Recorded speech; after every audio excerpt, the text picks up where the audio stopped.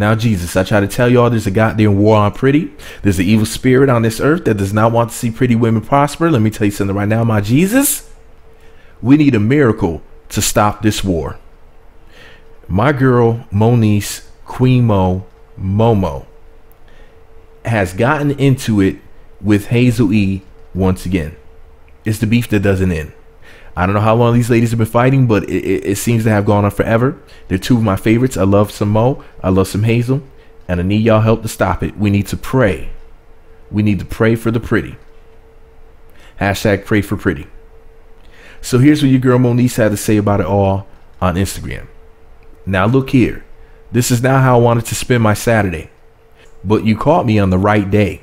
I woke up on the wrong side of the bed. Now all year I done kept my hands to myself on camera, but there's a whole real life out here. I don't even fuck with the Norwoods, any of them.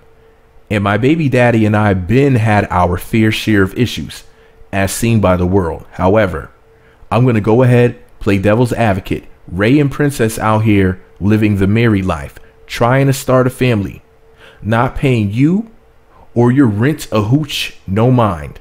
He getting money. Hell, they getting money together. He bossed her up, his whole wife. What you got? And my baby daddy out here getting money, doing a damn good job helping me raise our son. What you doing for yours, my ninja? Other than waiting on that raggedy bitch to boss you up. So while you worried about how the next ninja living, how he fucking, where he at, what he got, sounds to me like you looking for a pinky and the stinky, my ninja. Keep it cute, little Rosy Posy. I thought I invented the pinky and the stinky. Anyways, uh, say little bitch, hashtag nasal, hashtag Rosy Posy. Anyways, man, listen.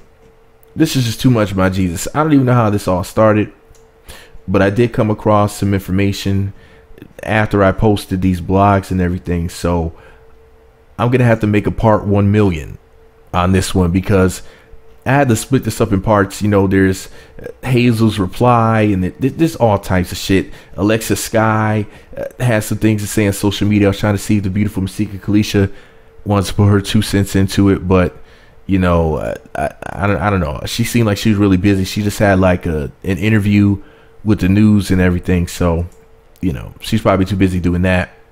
And she was looking fine as hell too. Oh my lord. Anyway, speaking of fine women, listen, Moniece is too pretty to be beefing. Remember, hashtag pray for pretty. Make sure to use it, my Jesus. Let me know what y'all think about it all below. Be sure to subscribe to the MEET Magazine YouTube channels. Visit meetmagazine.blogspot.com for more. Follow me on Twitter at MEET Magazine, MEET Magazine 7 on Google Plus, MEET Magazine blog and Instagram. Be sure to hit the notification button. It's right next to the subscribe button. Looks like a bell. Once you click that button, you'll be sent alerts to be notified when the videos get posted. Jesus. Whose side are you on? Hazel or Moniece? I'm on the pretty side, so that's both of the side. Are you on both of the sides, like me? Or are you a hater?